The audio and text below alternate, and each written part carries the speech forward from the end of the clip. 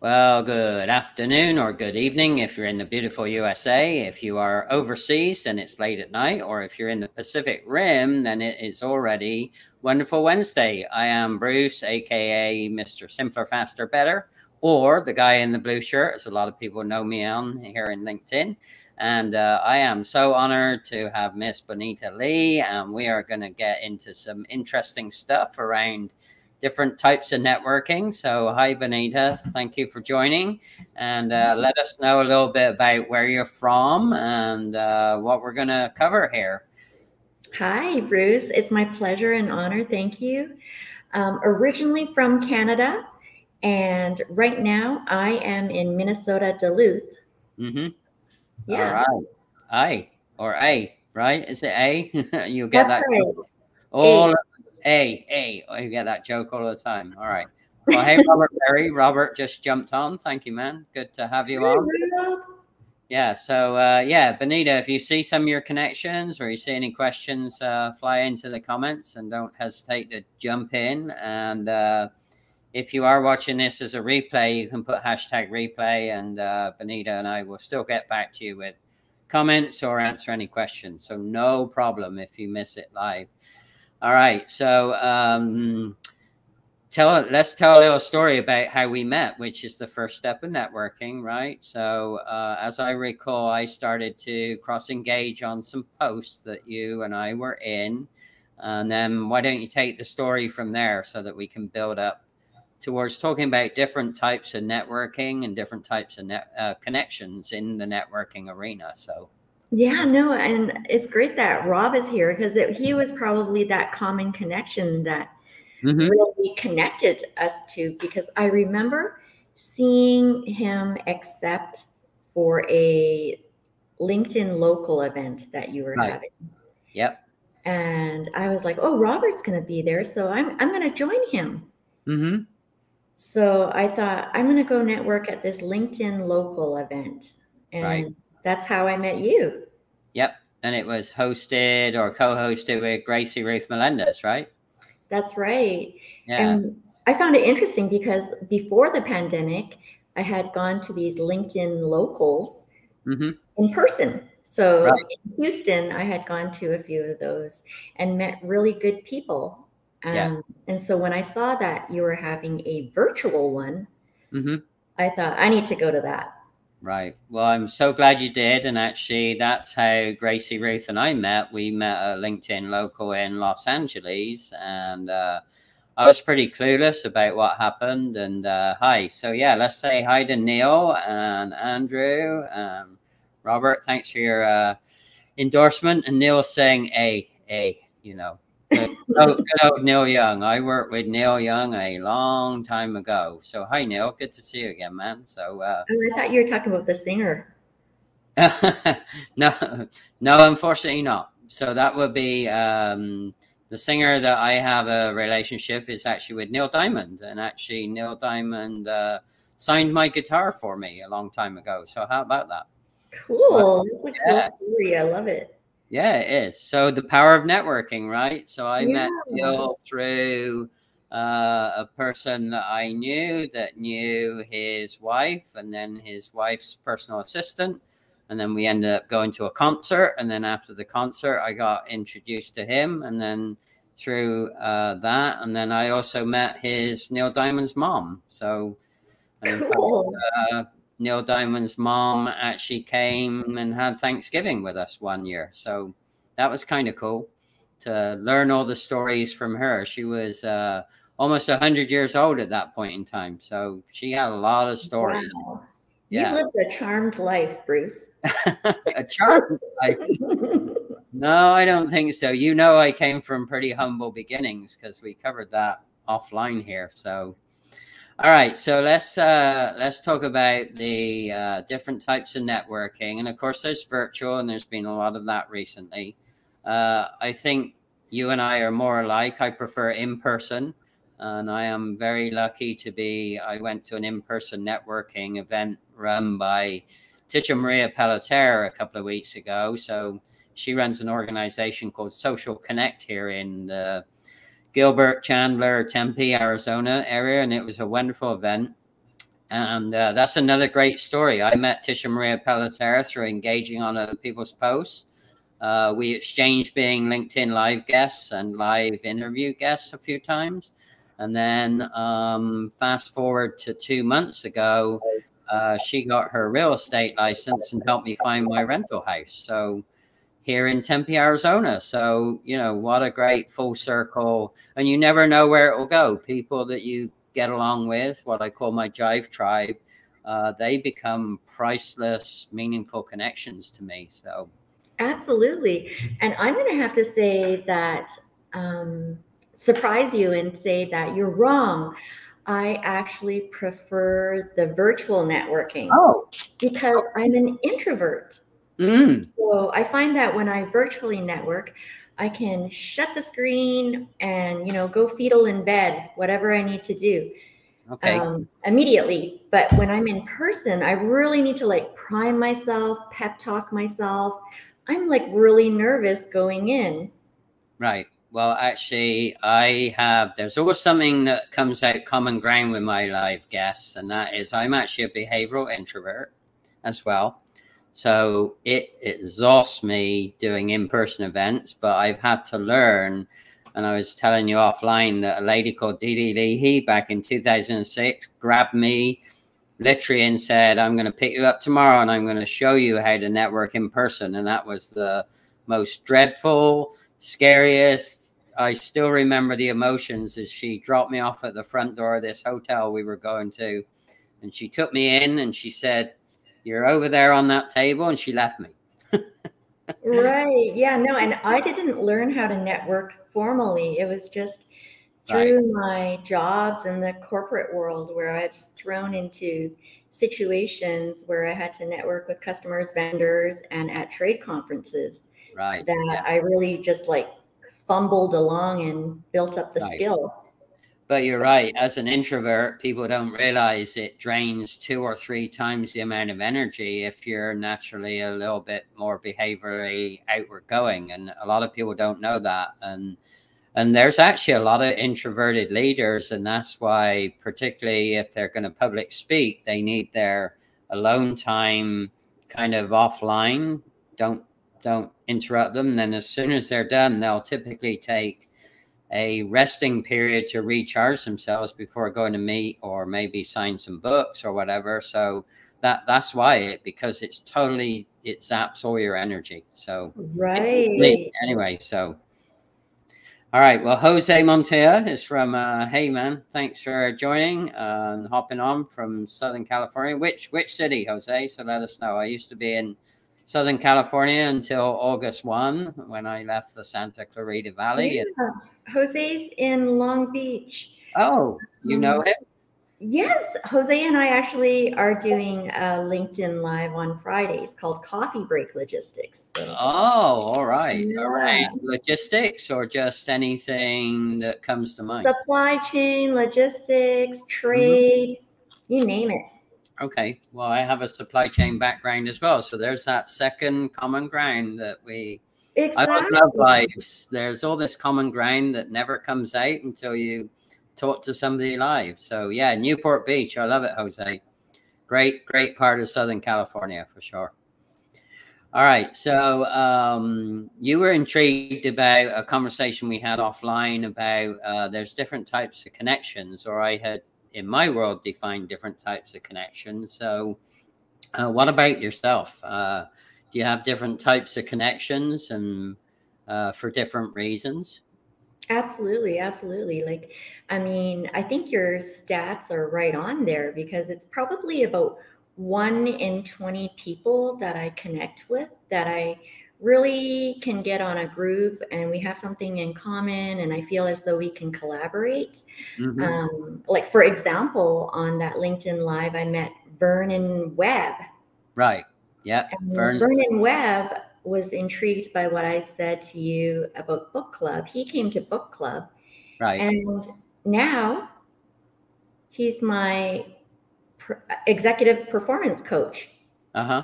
So who knew? You don't know who you're going to meet. Right. Yeah. Vernon's a high quality, a lot of width and depth of experiences, and he's just got such a calming nature about him. You know, he's he's not hyped up like I get sometimes. so, or me, yeah. Right. So having that calm, steadying the ship sometimes, right? When your emotions are running high and uh, you need somebody that can kind of cool you down. And um, I have a couple of people in my network like that. Connie Medina is probably uh, my best person at that, and I use Connie. She's uh, over in Los Alamitos, California, and um, again, Connie and I met through LinkedIn, and then we went to coffee together, and then that was two years ago, and we built a very meaningful, long-lasting relationship, and uh, yeah, so the, that common ground, I call them my Jive tribe, and you know, the like jive, the jive for me is very important uh, because I get frustrated spinning my wheels, you know, wasting time because I'm all about making things simpler, faster, better. So, and I actually live, I try and live that lifestyle. So when things aren't simpler or faster or better, it starts to frustrate me. So, yeah, so when I spin wheels, your vibe, huh? It's the tribe that gets your vibe. It's the tribe that gets your vibe. Oh, I love that. That is mm-hmm. really cool. So we should add that to the comments afterwards. It's it's unfortunate with live stream and LinkedIn we can't add our own comments, but uh, or if somebody else wants to put it in there, we could do that. So oh, I'm going to do it right now.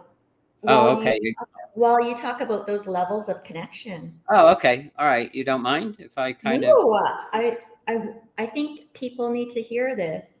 Okay, so yeah, Benita and I were talking about connections, and I've identified that connections into three categories for me. There's what I call just a click connection. And typically, a click connection is somebody that you don't really have any background or relationship with. And typically, they're going to try and market you a specific service, and they tend to do that straight away or very early on in the talking relationship.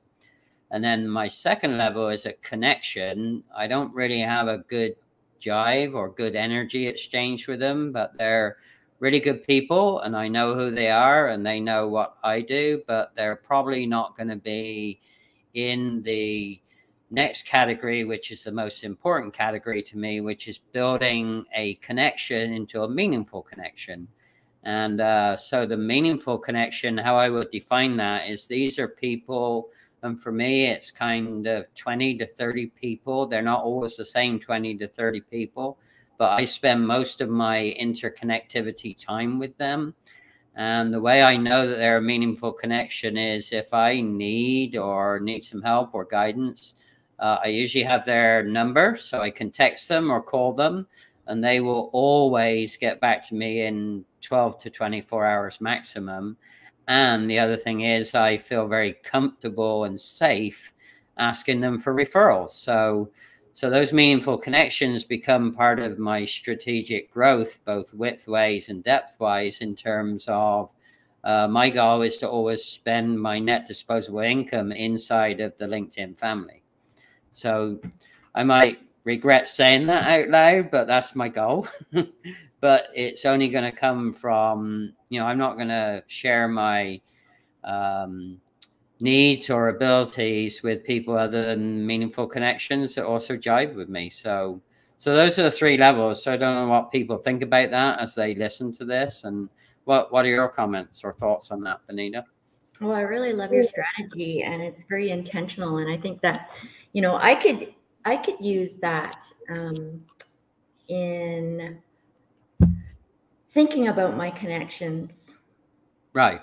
Now, some people call them like A, B, and B, A, B, and C strategy connections. And in fact, people that sometimes use uh, customer relation relation management software will often right. term them as A, B, or C's. I I don't like the classification because sometimes uh, uh, just a connection can become a meaningful connection for a while, and then they might go back to being a connection or a meaningful connection might be a meaningful connection for a while and then they go back to being a connection so for me it would be hard to keep up with the classifications and um and life is dynamic right you know some it's very situational it's very dynamic and sometimes you find yourself in a spot like i have in the last few months major changes came at short notice. And so, you know, I reached out to all the help I got came from my LinkedIn connections or my prior network. So, you know. Absolutely.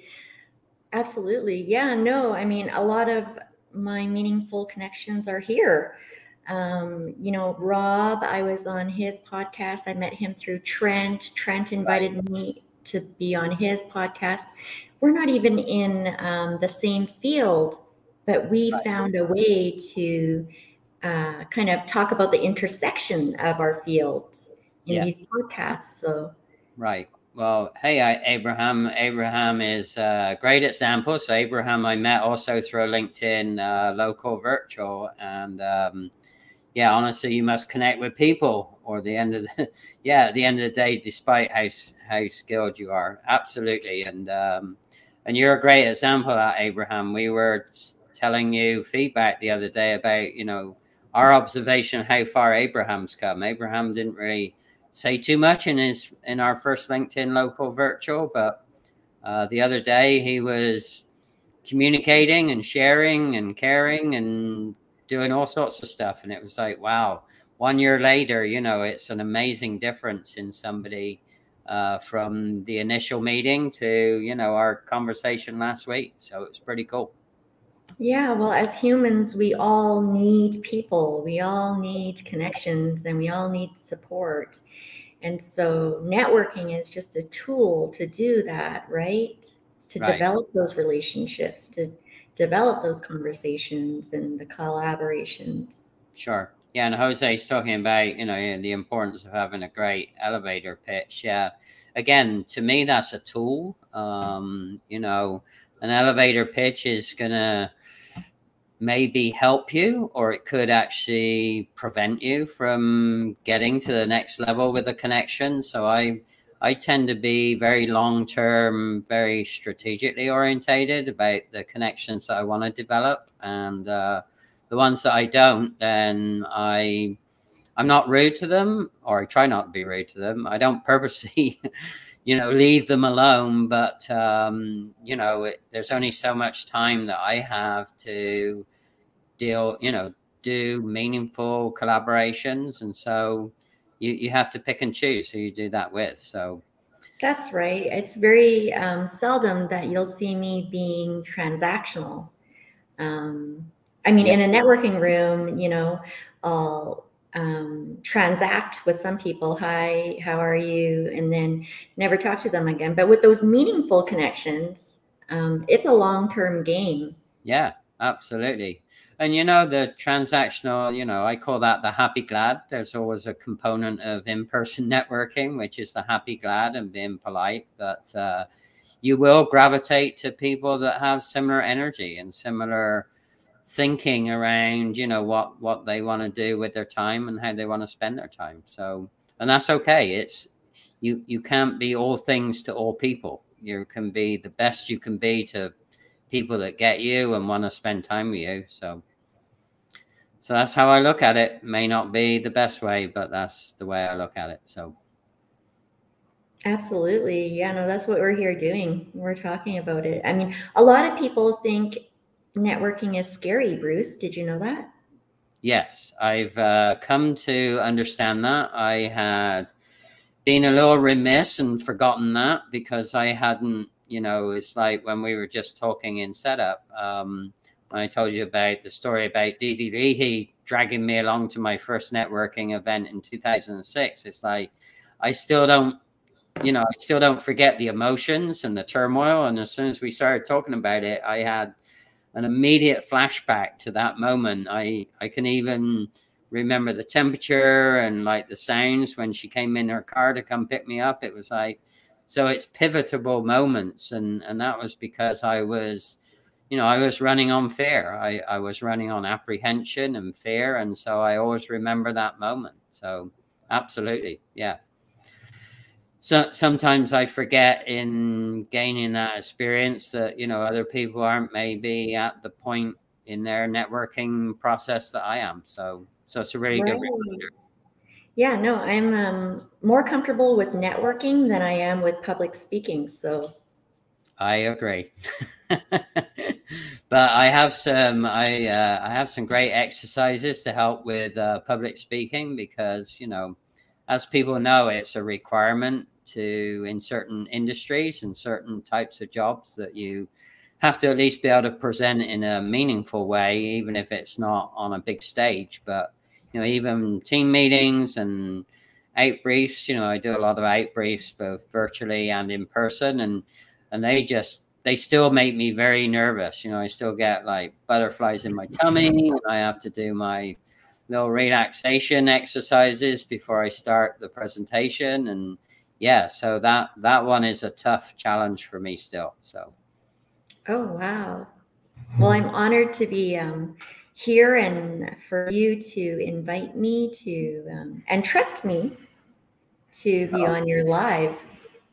Right. So uh, what I've learned to do on that, so the guests I ask have um, certain characteristics. So what I've been able to do, because I'm a process guy, so I've been able to identify what those characteristics are. Uh, number one, before I invite somebody to be a guest, and then when I do invite them to be a guest, I you know I want them to feel comfortable that they're okay to just talk with me and free will in the conversation around a theme. And if they're okay to free will in a conversation around a theme, then you you just never know what you learn. I mean, I've already learned a couple of things about you that maybe I wouldn't have learned for months and months and months. So so that's the joy of doing things live is you're you have no choice. You can't run away, right? You're That's right. And I love how you um, develop like the psychological safety around that. So mm-hmm. good yep. job on that. Well, so um, you know, people say to me, "Well, how do you do what you do in my, you know, process cleanup thing?" And I say to people, it's very simple. It's sixty percent what I call people engineering, which is the whole making people feel comfortable and want to share and want to learn and want to be honest about what's happening, and then the rest of it is process. So, you know, people and process equals performance. And that's what a lot of people miss the simplicity of. And yeah, it's a complicated world, but fundamentally, when you get down to it, something that performs or a process or a system that performs well, it's got the right ratio of people and process to get that performance. And and if you tweak with the ratios too much, you can mess the whole performance aspect up. And uh, and what people don't realize is the pandemic has shifted a lot of that ratio between people and process. And some people have not dealt with it really well. And some leadership are totally lost still. They still don't know how to readjust because they used to have the people and process in the ratio in a certain way, but now they don't know how to get it back. So, right, right. Well, let's let's break down uh, you know networking in like a, a, sort of a process kind of way so that it can be you know less scary to some of us out there that you know are attempting it for the first time there's in person and there's virtual. Right. Um, so what is the process you kind of go through bruce? So first thing is you got to show up. So showing up is whether you want to show up. Don't feel comfortable showing up. Or a little scared about showing up, the first step is you got to show up. And if you can get past the fear or what's holding you back, it may not be fear, it may be resources, it might be time. But if you can get to the point where you show up, that's step number one. Uh, engage, being present, being in the moment, engage in either the listening or the talking or some of each of the whole process of interacting with other people. So being engaged and in the moment, focused on the moment, using your extraordinary listening skills. And that's why you got two ears and one mouth, right? You should be listening twice the amount of time that you're talking. So that's that's the ratio. And then the other key thing is when you feel comfortable with somebody, if you say, "Oh, I'm gonna, I'd like to follow up with you on this," or "How about we follow up on this?" Hey, do you want to grab a coffee some other time, or tea, or or a beverage, whatever it is? You have to make sure you follow through on your commitments of follow up. And that right. and that to me is where networking always breaks down. People are really good at the show up, they're really good at the engagement, they are not so good at the follow up and follow through. And I'm not sure why. I wish I could figure out why. Um, but that's the secret element. If you want to become an extraordinary networker, you got to show up, engage, and do fabulous follow up and follow through. That that's what I find. And the people that do fabulous follow up and follow through will be more comfortable. They'll get more opportunities to show up, and they'll get more opportunities to engage. So becomes, absolutely, yeah. yeah. Um, so two or three weeks ago, I went to Dallas for my first in-person trade conference, mm-hmm. and just um, coincidentally, I met a younger woman who had, it was her first trade conference. Uh-huh. And it was, she had only been in the industry for six months. Oh, wow. I know. And I was like, and she's like, I'm so nervous. And I'm not going to give out her name because I, I don't want to embarrass anyone. But I said, let me be your buddy let me be your buddy. I remember when it was my first conference and mm-hmm. how intimidating that can be. Oh yeah. Absolutely. Yeah. And um I, I I think I kind of went through it with her. Like I just I just assumed that you know I, she would um, learn by example. So right. I did that thing, what you were just describing, and then at the end of the conference, we got back together and we had um, drinks. Mm-hmm. And I took out the business cards and I said, This is what I do afterwards. I go onto LinkedIn and then one by one, we inserted everybody into our LinkedIn. I was like, And if you can remember something that you talked to them about, you should send them a quick message and say, Hey, it was great to talk about this or that. And I mean, that's how those opportunities come about right? Yep. So uh, another thing that um, was helpful for her to for her to hear is um, you don't need to be nervous because you think about it as making others comfortable, helping right. others, listening to their pain points. Mm-hmm. Um, so yeah, no, it's just like making a friend, right? Yeah. yeah. Well, I love the fact that you were hashtag Benita Buddy. So good job. I think you should. and then uh, I don't know if you know this, but let me show you something. So on your LinkedIn main page, if you go, if you touch this funny little in the search button, you can get a QR code of your entire profile. So you don't need a business card anymore. Interesting. And then and then all you do is you just have somebody take a picture of your QR code and it will open their profile and it gives you then the option to follow or connect. So and that is, yeah, that reminds me of JV, whom I met through you. He was going to help right. me with something like that. So yeah, I so get back in touch with JV. So that let me let me do that. Let me see if I can do that because some people don't. So it's this tiny little electronic in the search line. Right. Hard for me to do it on camera at the same time, but it's in the search line because I can't do it backwards. And then it's right next to the quotation mark, and then you just oh, press on it. I got it. Yeah. So you don't need a business card anymore.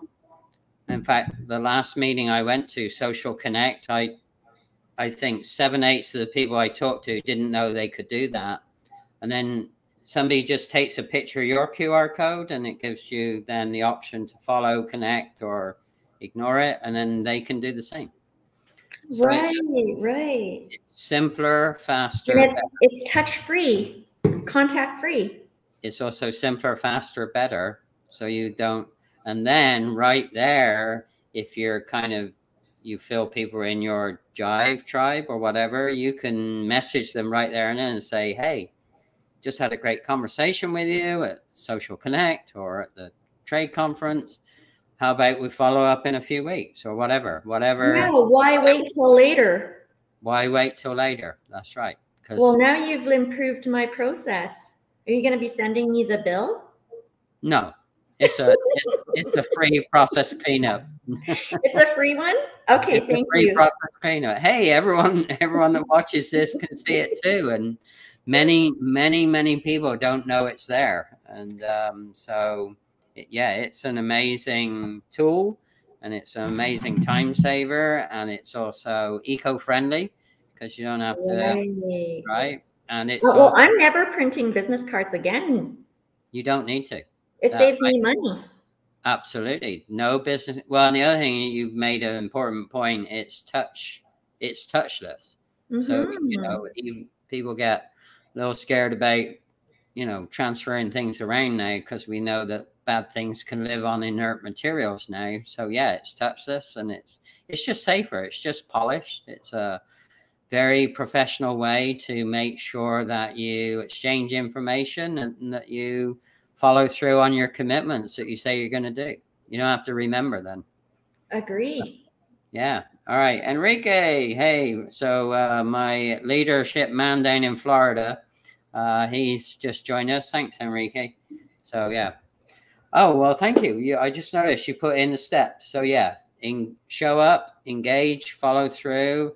And the follow through is also follow up to make sure always always remember what you promised and deliver what you promised because people remember that. And if you don't do that final thing, they get all whacked out because said, "Oh, well, that Benita, she promised me she was going to do that, and look, she didn't do it." So, ugh, you know, why would I? Why would I waste my time with her? Is the immediate reaction usually.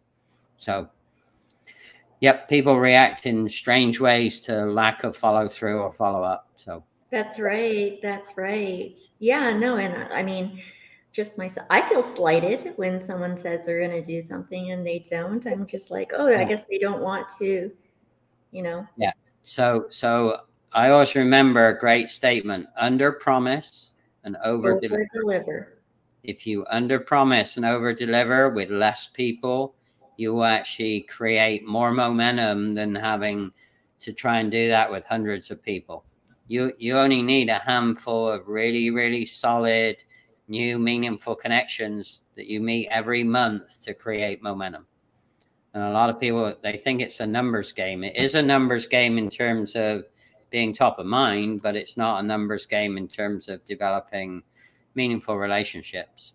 Oh so. absolutely. And i mean what has made it even more clear is like the way that the algorithms work within linkedin right? Absolutely. Yeah Mm-hmm. So I'm gonna I'm gonna fast track onto you now. I've talked a lot, and so I know oh, you got no. exciting. I know you got some exciting things coming up starting on the 21st of this month, right? So I, I why, yeah, why don't you do a plug for what you've got coming up, and then how people can get involved in that? So. Okay, so on the 21st, um, there's a group of us, and you know how this came up was during the pandemic. Um, you know, people were unable to meet in person. Right. And so many of the small business owners and solopreneurs and, you know, all of us on LinkedIn were like, oh, we're not going to be able to do any Christmas things. So uh-huh. I had this idea of doing a online market, you know, to help mm-hmm. people get their business online, to network online, to do things online. And it was through Remo. Mm-hmm. Um, so Andrew knows a little bit about that because recently he introduced me to Toucan, which okay. is the same sort of a platform. It's a networking platform.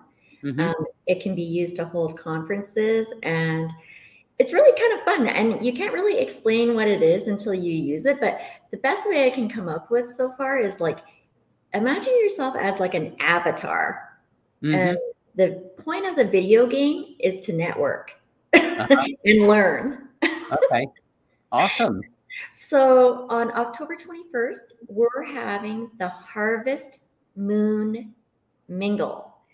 Harvest and, Moon Mingle. So it is actually the Harvest Moon, right? On that day, right?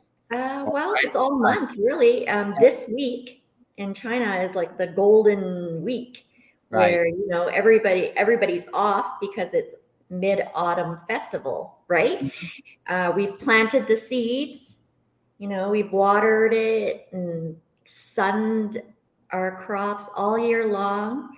Mm-hmm. And now it's time to harvest. Well, you know, the same thing can go with our relationships that Absolutely. we've been planting, watering, nurturing. Yep. Um, so come, uh, I'm going to leave the event right.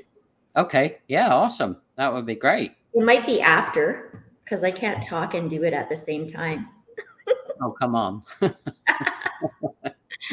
um, to the harvest moon. Well, if Chris or anybody is on here, oh, I don't sure. think I don't think Chris can be on here right now. He said, "Okay, here we You can drop it in there, no problem. You can drop it in when the re- the recording will be in the featured section of my page. So, and I'll send you the link to the replay. So, no problem. Perfect, perfect. Oh, here it is simpler, faster, better for everybody. Right.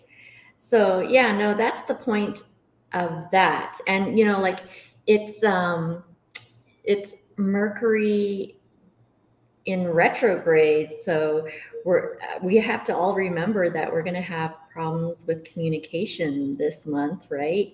But at the event, we have Vernon Webb as our keynote speaker Awesome. And you know, as well as I yeah. do, he concentrates on mindfulness. Mm-hmm. And mm-hmm. I get the feeling that anyone who comes is really going to benefit from that.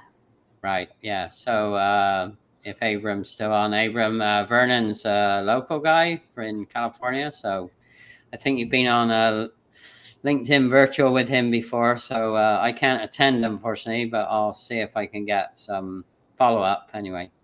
All right. So uh, we're, unless and, you have anything else, we're about to close. So.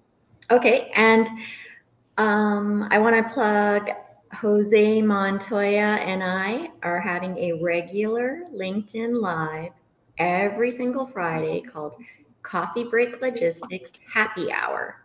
Right. What time is that? That's Eastern Standard Time? That's um 10 a.m. his time, so Pacific. Okay and noon Central Time. Okay, and 1 p.m. Eastern. All right. Yeah.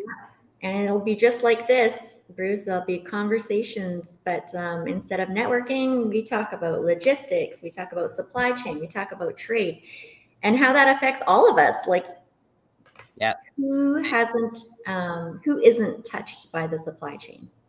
Uh, everybody on the planet, which is why with the whole cargo container thing and all the uh, out of balance stuff, being in the wrong place at the wrong time. That's why we're in chaos right now. So, absolutely. You got it. I do. Yeah. All right. Well, thanks so much. And uh, again, if you're seeing this as a replay, you can still ask questions. Just put hashtag replay. It makes it easier to find the questions that have come after the live. Thanks everyone that was on live with us. We uh, really appreciate uh, you watching and making commentary about what we were talking about. And uh, if you'd like to hold on, Benita, then we'll say goodbye to everyone. Bye.